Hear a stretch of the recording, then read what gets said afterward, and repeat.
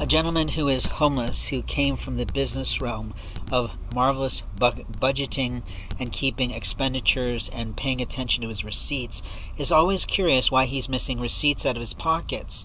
You see, he didn't ask anyone to put their hands into his pockets. He did not authorize anyone to access inside of his tent except for the woman and the women, frankly, that he's invited to marriage. Three, in fact, and a fourth that he'd just like to get to know a little.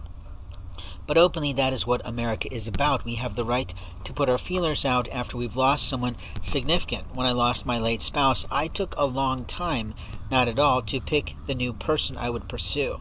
What I saw was God was leading me directly to the person I love, and that was true.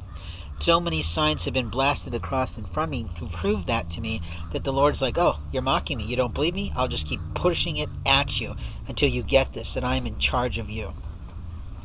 And the one day that I wanted to run back out to her and declare my love, the angels actually slammed me to the ground in the middle of a Panera. I fell over, I collapsed, and I couldn't believe it.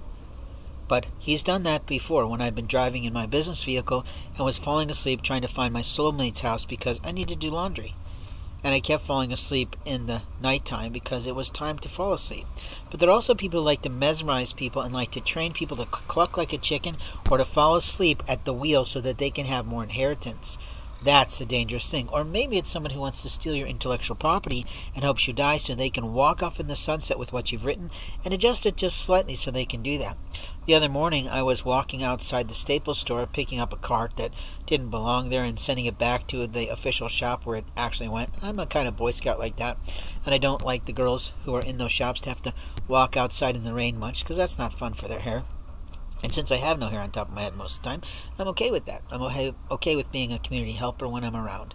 If God leads me to do that, if God says don't do that, it means that there's some shitbag on the company dime that I don't need to help. But my point is that I was walking outside the Staples shop, and what I know about the copier center there is that it's not a place that they hire people to edit things. But what I saw was a young man reading a piece of literature or a document online. And I thought, why is he doing that? Should he not be sending it to print? I didn't realize that Staples offered someone the right to edit someone's work. And generally speaking, the companies absolutely say, no, you may not do that. It's too much of a legal risk for our organization, our corporation, and we don't hire you to do that.